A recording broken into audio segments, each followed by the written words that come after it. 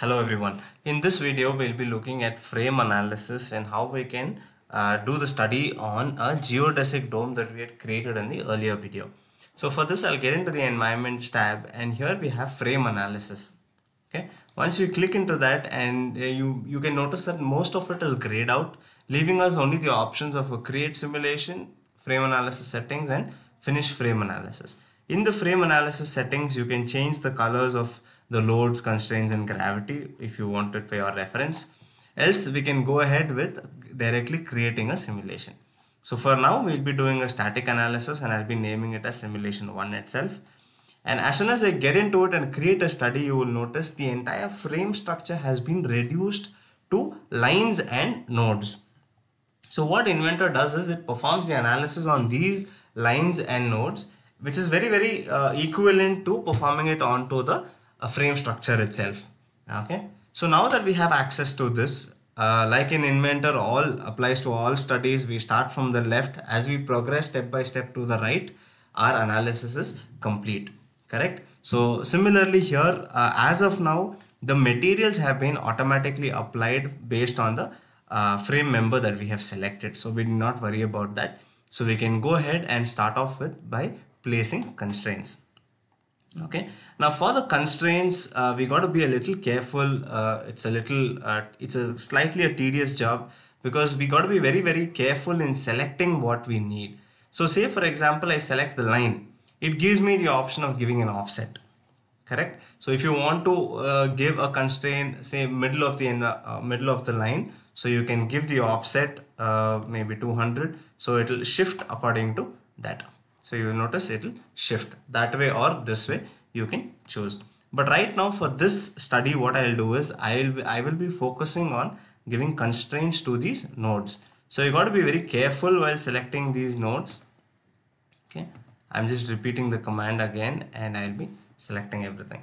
So this is slightly uh, time consuming and uh, requires a lot of patience. So be careful in the method you're selecting. Uh, so careful not to select any of the lines. You could select lines if you really need to select lines. Uh, no restrictions on that of course. Okay. So in this case i'm selecting points uh, the basically the nodes to keep it simple. So i don't want to mess it up with including lines and points as well. Yeah just a few more nodes to be to go. And I can select this this so here this issue will come up. So you got to be careful. And you can select it up. The last one and we are done.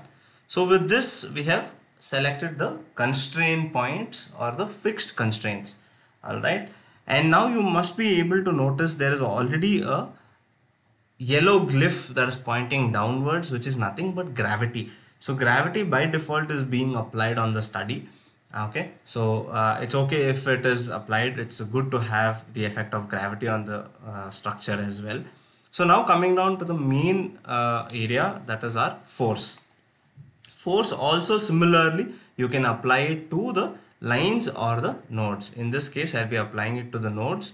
So as soon as i click a particular node you can notice it gives me the option of rotating it as well. So if I want it in a particular angle I can do that as well. So right now I want it normal to the uh, structure. So I'm keeping it at 90 degrees itself. Okay. And right now it is a 100 100 Newton is the load that I'm being that I'm applying.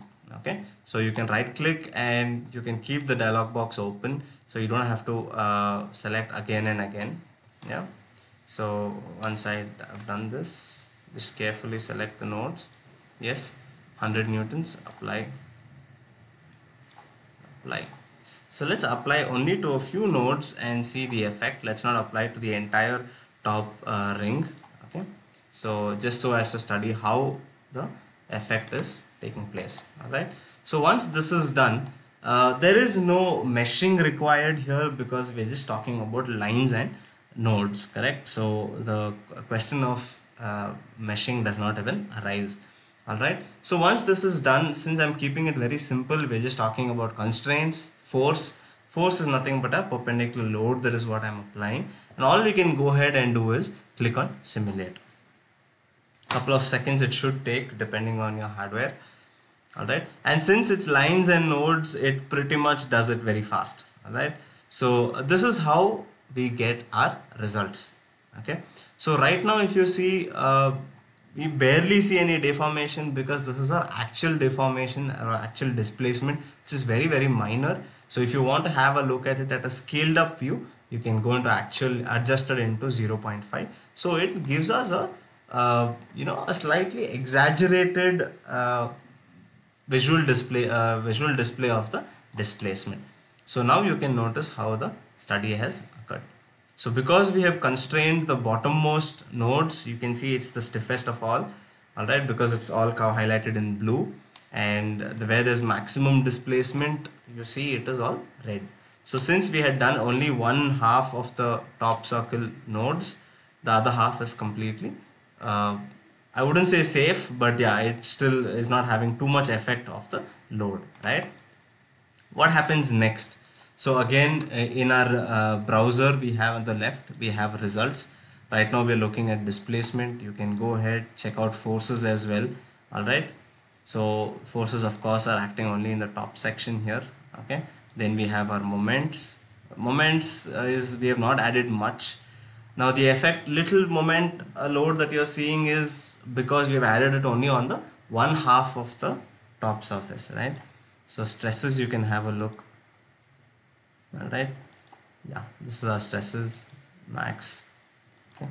So where maximum stresses are acting you can have a look at it. Then you also have torsional stresses stresses as well. Okay. So here also you can notice. And of course for everything every uh, result that we are having a look there is a legend on the left. So you can refer to that and you can go ahead and have a look at it.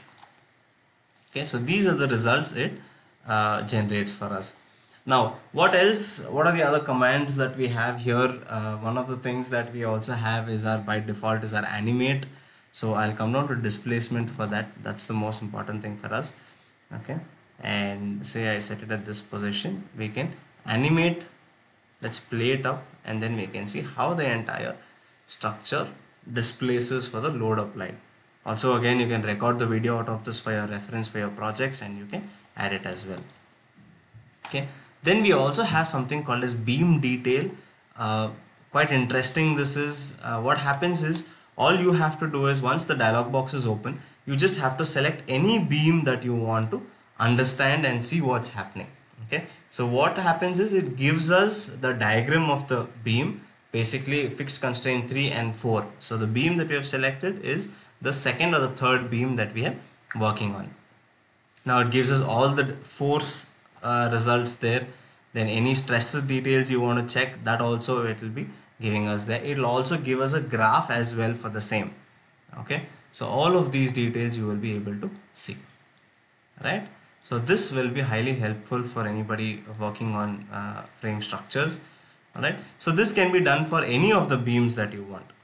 Alright, so this is another beam that I'm looking at and this is another beam that I'm looking at. Alright, so you can study different, any particular beam you want details, you can have a look at it.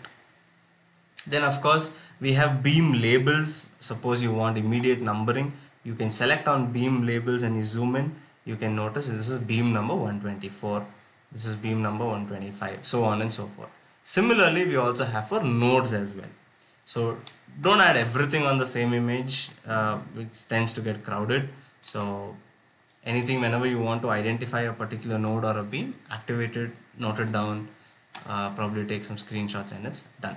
Okay? Again we have our probes as well. Select any of the uh, members and then it will give us the details there. So you can give us the displacements there. in this case we're talking about displacement. So at that particular point it gives us the displacement. All right yes. Uh, so this is our uh, frame analysis pretty pretty straightforward. Uh, nothing much to uh, nothing much in detail here. Uh, probably once you could do a couple of uh, studies I think you should get the hang of it. So if you want to exaggerate it even more this is very uh, unrealistic but yeah this results in failure. But if you want to have an exaggerated look that's how it, it will look like right so once this is done we can go ahead and we can close our analysis.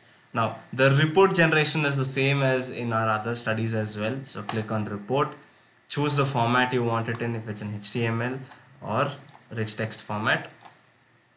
So remember one thing when you're generating the report uh, the position you have or the view you have placed the assembly in that's the screenshot that it will be taking all right so if you have placed half outside and half inside the uh, workspace so that's the same image you will be getting. Since right now i placed it in the isometric view i'll i'll be getting all the snapshots in the isometric position itself right? so you see the entire assembly is in picture. I'll go down a little bit more. Yes. So this is our most interesting important things.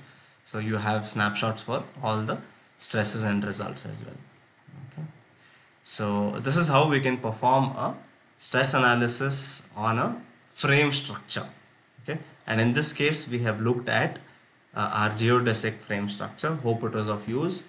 Uh, if you found it helpful uh, please do subscribe and share the word around and hit the like button as well. Thank you so much everyone